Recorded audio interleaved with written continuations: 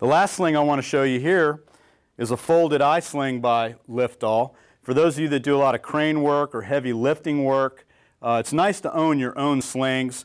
Quite often with cranes and, and other companies, when, they, when you rent them and they come out, you don't know where those slings have been. So by owning your own, you know where they've been, you know what kind of condition they, they're in, and you also know how they were used. So it makes it a little bit safer for you.